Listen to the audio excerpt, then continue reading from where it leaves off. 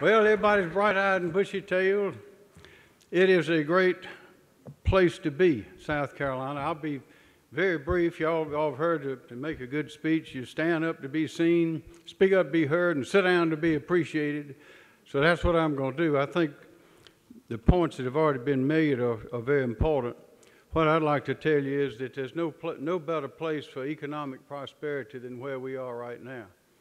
Uh, you read about it in the newspaper, these companies that want to come here, and it's, it's a pleasure to me always to talk to people, as I have over the last few years, who are from outside of the United States that tell us what they see inside of the United States and what they see here in South Carolina. And I'll tell you, everything that they see here in South Carolina is positive, and that's why they're coming here. So we, we're in a great situation that could hardly be any better. And as they said years ago, I think in the context of television, remember it was called a vast wasteland. Some people, that was back in the 60s. Someone said that's what's on television is a vast wasteland. Well, some folks say that's come true. Others, uh, you remember, it was uh, one of the philosophers said that the medium is the message. That is, it doesn't matter so much what is said, it's what's saying it. And that applies here because, as you've noticed, you have a combination of people sitting on the stage that is a rare combination in the United States. Here you have Bobby Hitt with the Department of Commerce. He's been there for a number of years representing the government. You have Susie Shannon of the Competitiveness Council, which was created by the Department of Commerce as a separate organization to coordinate all of the exchanges, information, and collaboration among business and industry in the state of South Carolina and the state. And also we have Joan Gabel with the university. Now, those three components are very important because you don't find that everywhere. You, it's rare that you find a major research university in the country that has the flexibility and ambition to work with businesses. I call it brain power, but to work with businesses, industries, manufacturers who are setting new goals, setting innovation, bringing in new ideas to make us more and more competitive in the world. And no university has more strength at its disposal than this university. And in addition, we have Clemson in the upstate, and you know the great strides they're making with ICAR.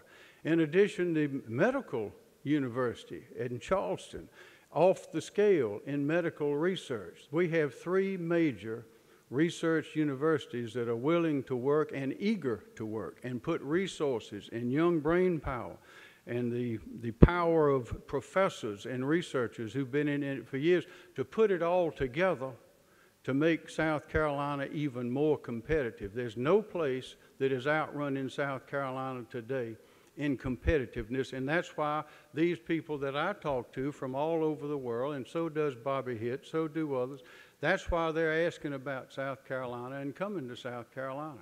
We're in a remarkable place. You remember the story about the city slicker that went to the circus and he saw the huge elephant, Jumbo we'll call him, was over there and he had a little tiny chain around his leg tied to a little tiny stake. And the city slicker said to the ringmaster, that elephant, why do you, why do you do, he could just walk off. He wouldn't even notice that. He'd pull the stake right out the ground. And the man said, well, we put that chain on him when he was a baby and now he doesn't know that he can walk off anytime he wants to. Sometimes I think we in South Carolina, as well as other states, are encumbered by low expectations. Well, as the president of this university and the president of Clemson University said in the last few years, they said, We are tired of hearing people say that South Carolina is a small, poor state and it can't do anything. They said, We don't want to hear that anymore because it's not true. And I'm telling you, it's not true. Nobody has the assets required for economic growth and prosperity than your state does right now. With the great port that we have that's getting deeper, and we export, as, as you know, we export about $5 billion worth of aeronautical equipment and discoveries and things out of, out of the port. We export more, in value, more vehicles than any state in the country. We manufacture more tires in South Carolina than any state in the country. We're top on every list. We're number one in manufacturing potential in the country. Charleston, for many years, has been the number one tourist destination in the United States as well as in the world. and people I talk to all over are thrilled to come to South Carolina. We have the greatest technical college system in the world, started in 1961. We have components in that that have just supercharged that. People don't know, but we have teams from our technical college system and Ready SC and other augmented parts like that that will go to a country somewhere and look at their plants and spend time and understand the kind of skill, the kind of techniques, and the kind of education it takes to have the people that can operate that kind of robotic machinery in many cases, and they'll come back in, design a course at our, one of our technical colleges to teach the people in that area how to do work in that plant. Nobody else in the United States does that, we do it for free if a company is willing to come here, and we'll do it for a company willing to expand. So what I'm, what I'm here to say is we have, we, we have arrived. We're at a place now where we can be a model for the rest of the country. As the U.S. Secretary of Commerce said just, in fact, he said it twice. He said South Carolina, with its technical training, with its workforce development, and with its collaboration with major universities, is a model for economic development in the United States. So, what I want to say is that is true, and we are right in the middle of it. So, we need to take advantage of it. We need to be sure for our children, their children, and all the rest that we don't miss the opportunity that we have right now in this state to take a giant step forward in economic prosperity. And from where I've been, what I've seen, I can tell you when People get up in the morning and they go to, go to work where they want to work and they're happy about it and they have a good job. A lot of our problems go away. What happens? More people are working.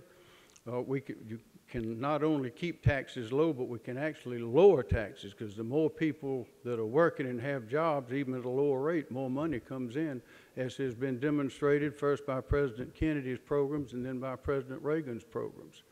But we, when people go to work, what goes down? Divorces go down. Drug usage goes down. What goes up? Marriages go up. Happiness goes up. Education goes up. Criminal domestic violence goes down. A lot of the problems that we struggle with disappear when we have economic growth and prosperity.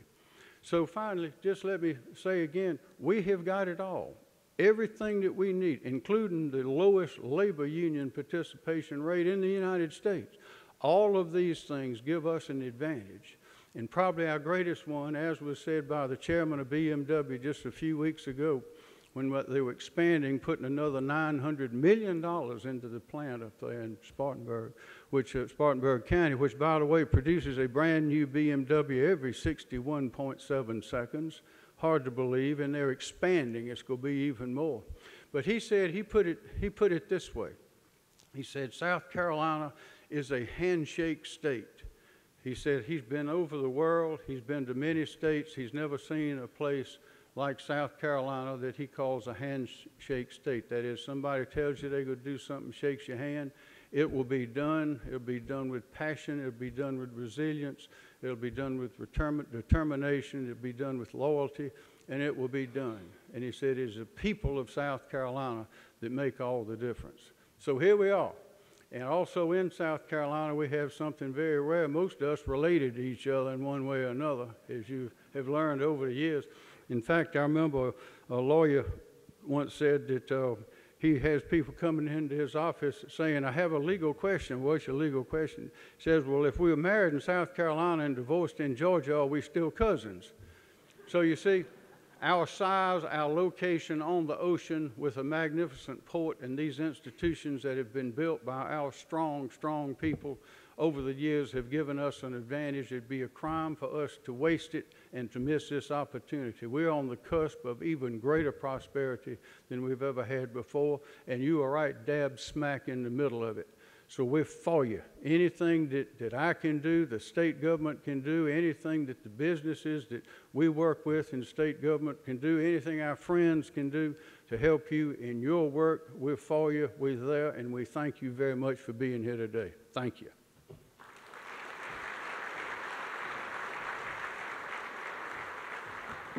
May I be excused from this honorable court. I got something else to do. Thank you.